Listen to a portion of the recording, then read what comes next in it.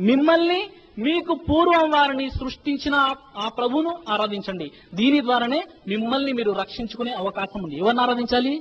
మీ మిమ్మల్ని మీకు పూర్వం వారిని సృష్టించిన ఆ దైవాన్ని మీరు ఆరాధించాలి. చూడండి.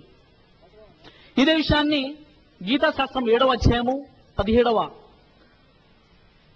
శ్లోకంలో ఏక భక్తిర్ విశిష్యతే ఒక్క సృష్టికర్త ఎందే భక్తి గల జ్ఞాని మాత్రమే శ్రేష్ఠుడగుచున్నాడు. ఒక్క సృష్టికర్త ఎవరైతే పుట్టించాడో ఆ సృష్టికర్తను ఆరాధించాలి అన్న విషయము ఇక్కడ కూడా చాలా స్పష్టంగా మనకు అర్థమవుతుంది.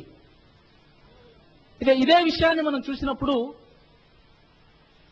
చాలా స్పష్టంగా బైబిల్లో కూడా నీవు ప్రార్థన చేయనప్పుడు పరలోకమందున్న తండ్రి నీ నామము పరిశుద్ధపరచబడుగాక. మత్తై స్వార్థలో చెప్పడం జరిగింది. యేసువారు కూడా నీవు ప్రార్థన చేయనప్పుడు గదిలోకి వెళ్ళి తలుపులు వేసుకొని రహస్యమందు చూచు. నీ తండ్రికి నీవు ప్రార్థన చేయము. ఎవరికి ప్రార్థన చేయాలి? ఎవరైతే సృష్టికర్తయో ఆయనకు ఆరాధన చెయ్యాలి అన్న విషయం చాలా స్పష్టంగా మనకు అర్థమైంది. ఇక్కడ ఏంటంటే లేదండి వాళ్ళ దేవుడు అనేటువంటి ప్రస్తావన లేదు. మనందరి సృష్టికర్త.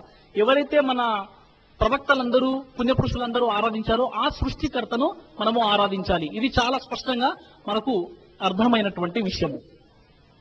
ఇక తరువాత మరి ముందు నేను నా యొక్క ప్రసంగంలో నేను చర్చించినటువంటి విషయాల్లో ఈరోజు అనైతికత అనైక్యత ఏదైతే ఉందో ఈరోజు ముఖ్యంగా హిందూ ముస్లిం క్రైస్తవులలో పరస్పరం ఒక అవగాహన సోదరభావం లేకపోవడానికి ప్రధాన కారణం ఏమిటంటే వారు సృష్టికర్త విషయంలో విభిన్న విశ్వాసాలను కలిగి ఉన్నారు. గ్రంథ ఆధారంగా కాకుండా వారు విశ్వాసాలు కలిగి ఉన్నారు. గ్రంథంలో లేని విశ్వాసాలు కాల్పనిక విశ్వాసాలు అభూత కల్పనలు కలిగి ఉన్నారు కాబట్టి ఈ రోజు మనలో ఐక్యత లేదు. చూడండి ఒక హిందూ ఒక ముస్లిం ఒక క్రైస్తవుడు వీళ్ళందరూ కూడా సృష్టికర్త ఒక్కడే. ఆయన పుట్టడు మరణించాడు కంటి ఆయన అవతరించాడు ఆయన్నే ఆరాధించాలి. ఈ పుణ్యపురుషులందరూ కూడా ఆ సృష్టికర్తని ఆరాధించారు అనేటటువంటి ఒక అవగాహనకు వచ్చినప్పుడు మనలో సోదర భావము తప్పకుండా జనిస్తుంది. మనమందరం కూడా ఆదాం హవ్వా సంతానం అనేటటువంటి విషయం కూడా అక్కడ చాలా స్పష్టంగా మనకు అర్థమవుతుంది. ఈ అన్ని విషయాలు ఎందుకు? అన్న విషయాన్ని కాస్త మనం పరిశీలించినట్లయితే సృష్టికర్త సెలవిస్తున్నాడు. ఈ జీవితము అశాశ్వతమైనటువంటి జీవితము. ఈ జీవితం ఏంటి? ఇది అశాశ్వతమైనటువంటి జీవితము. ఈ విషయమై ఖురాను గ్రంథంలో సెలవీయడం జరిగింది. ఖురాన్లో సూరే రూమ్ సూర నెంబర్ ముప్పై ఆయత నెంబర్ నలభైలో ఇస్మిల్లా రహమాన్ రహీం. అల్లాహుల్లది ఖలకకుం తుమ్మ రజకకుం సుమ్మ యుమీతుకుం సుమ్మ యహీకుం హల్ మిన్ షురకాయికుం మ యఫ్అలు మిన్ జాలిక మిన్ షై సుబ్హానహు వ తఆలా అమ్మా అల్లాహ్ ఏ మిమ్మల్ని పుట్టించాడు? మీకు ఉపాధిని కల్పించాడు? తర్వాత ఆయన మీకు జీవితాన్ని ప్రసాదించాడు తర్వాత మరణాన్ని కలిగిస్తాడు ఆ తర్వాత మిమ్మల్ని అందరినీ కూడా తప్పకుండా సమావేశపరుస్తాడు. ఒక పరలోక జీవితం ఉంది. ఆయన తప్పకుండా సమాధులలో ఉన్న మిమ్మల్ని ఆయన సమావేశపరుస్తాడు. మరొక జీవితం ఉంది అని పురాణ గ్రంథం చెప్తుంది.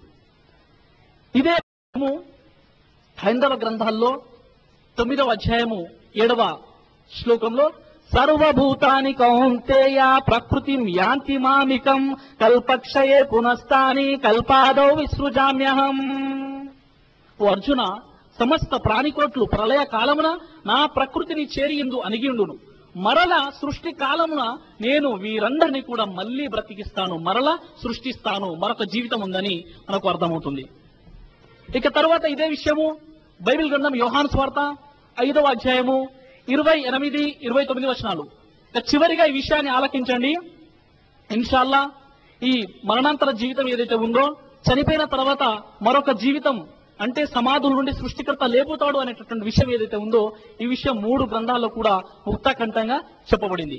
యోహాన్ స్వార్త ఐదో అధ్యాయం ఇరవై ఎనిమిది ఇరవై తొమ్మిది వచనాల్లో దీనికి ఆశ్చర్యపడకుడి ఒక కాలము వచ్చుచున్నది. ఆ కాలమున సమాధులలో ఉన్న వారందరూ ఆయన శబ్దము విని మేలు చేసిన వారు జీవన పునరుత్నమునకు కీడు చేసిన వారు జీవన పునరుత్నమునకు మేలు చేసిన వారు జీవన పునరుత్నమునకు కీడు చేసిన వారు తీర్పు పున- పునరుత్నమునకు బయటికి వచ్చరు బయటికి వచ్చెదరు. దీనికి ఆశ్చర్యపడకుడి ఒక కాలము వచ్చుచున్నది. జాగ్రత్త అని బైబిల్ గ్రంథంలో కూడా హెచ్చరించి మరి చెప్పడం జరిగింది. అంటే ఇక్కడ చాలా స్పష్టంగా తెలియబడినటువంటి విషయం ఏమిటంటే మూడు గ్రంథాల్లో కూడా ఖురాన్ గీత బైబిల్లో సృష్టికర్త మరల మనల్ని సృష్టిస్తాడు.